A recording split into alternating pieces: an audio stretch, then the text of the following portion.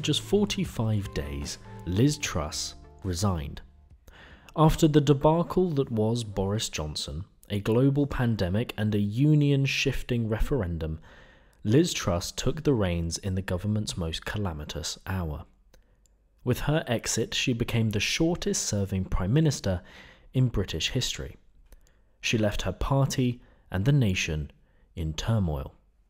In another piece of history, her successor would be Rishi Sunak, the first ever British Asian Prime Minister and the first person of colour to take the reins of this nation. 2022 was a tumultuous and potentially disastrous year for the institution of the Prime Minister. The trust in the position had been undermined, the ability of the structure of British government brought into question, and the office made into a hollow shell of the power and authority it was meant to wield. In many ways, the sentiment towards the institution of the Prime Minister in 2022 was reminiscent of the feeling towards the office at its inception. In 1688, the structure of the English constitution was radically altered. King James II, a fervent and overt Catholic, was deposed in favour of the Protestant William of Orange. In what became known as the Glorious Revolution, the power balance in British politics shifted, with monarchs now relying more on Parliament to obtain tax revenues and pursue their favoured policies. The House of Commons was also beginning to establish dominance over the House of Lords. This change in constitutional structure opened up the possibility of a new position, one that could deliver control of Parliament for the monarch. This opportunity was seized by a member of Commons, Sir Robert Walpole. Known as the Screenmaster General by his peers, Walpole was adept at pulling the political strings. His rise to the top was quick, but not without controversy. He served as the Secretary of War from 1708 to 1710 and as a treasurer of the Navy from 1710 to 11. But Walpole's involvement in the prosecution of Tory preacher Henry Sacheverell almost caused his downfall. On November the 5th, 1709, Sacheverell delivered a sermon entitled The Perils of False Brethren in Church and State.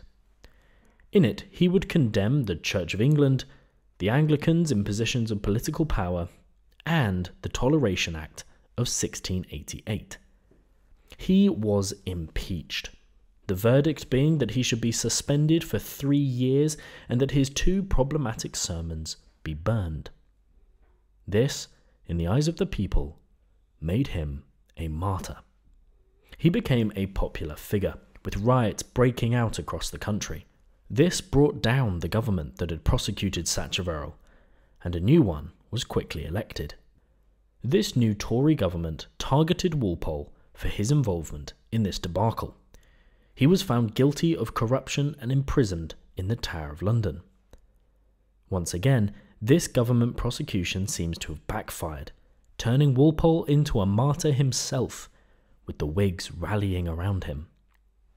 As the Georgian era began in 1714 with the accession of George I, Walpole had his revenge as the Whigs returned to power.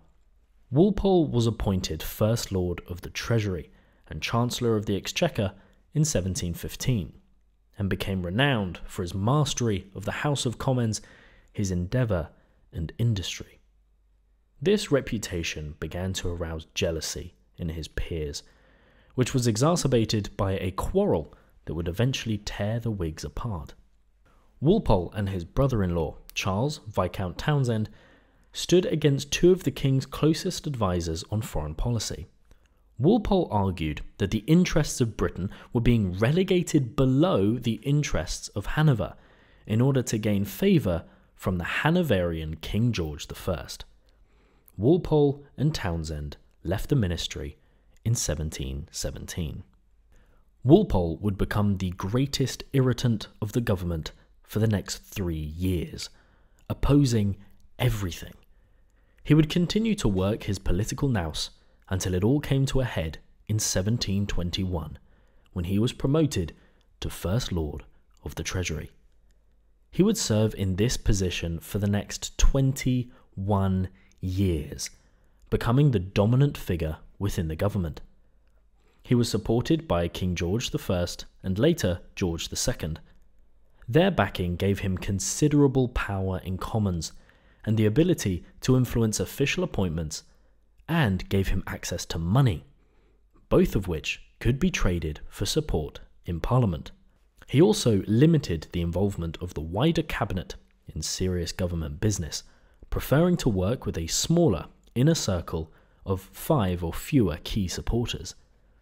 He raised himself to such a position of power and authority that many began to view him as a kind of prime minister.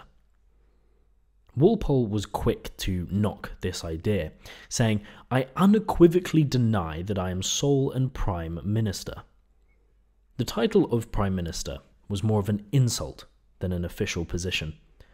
It implied that someone had elevated themselves above their peers in a way that was inappropriate and ungentlemanly.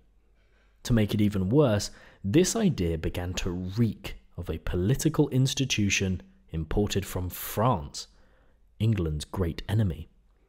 The view of the time was that monarchs should be their own prime ministers, and for anyone to do anything else, or assume this role themselves, was contrary to the constitution. Walpole would serve as an unofficial prime minister for more than 20 years. He is, therefore, traditionally regarded as the first and longest serving prime minister. We're taking a quick break from this episode to talk to you about BCAD clothing. Most of the time, history themed hoodies and t shirts are garish, childish, cheesy, in your face, and most of the time, frankly, unwearable. But BCAD clothing creates subversive, subtle, and stylish history themed clothing that you can wear and not feel embarrassed about. They also use 100% organic, sustainable, and environmentally friendly cotton in all their items so that it's good for the planet as well. If you want to check out the full range, you can head to presenthistory.co.uk, press shop in the menu, and explore. In the years that followed the end of Walpole's tenure, the position of the Prime Minister was murky with the title not officially recognised and the post not established.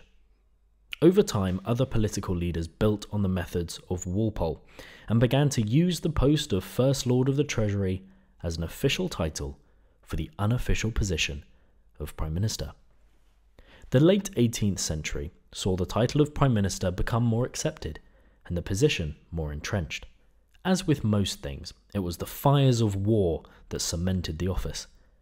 In 1778, during the American War of Independence, the Prime Minister, Lord North, wrote to George III that, in critical times, it is necessary that there should be one directing minister. And by 1805, the Times newspaper was beginning to use the phrase Prime Minister more regularly, and it became a more established piece of the parliamentary lexicon. By the mid 19th century, the office of Prime Minister was widely accepted as a political reality. What began as a slur, a damning indictment of someone who was rising above their station, was now the place of primary political leadership within the British government. It was born out of astute machinations and the adept puppetry of political strings. What once was a title of slander now the slandered title. It is fascinating how the untamed rapids of the past managed to swirl around and break once again on the rocks of the present. But then again, shouldn't we be getting used to that by now?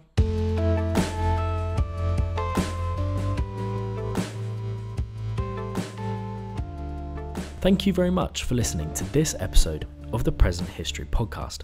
If you want to keep up to date with all that we do and all the exciting things that are coming up in the future, you can check out our website at presenthistory.co.uk, and there you can find details for this podcast, for Dark Britain, and all future projects. You can also follow us on Instagram, on TikTok, on Twitter, and you can subscribe to us on YouTube so you never miss a piece of content. We hope you enjoyed this episode of the Present History Podcast, and we'll see you in the next one.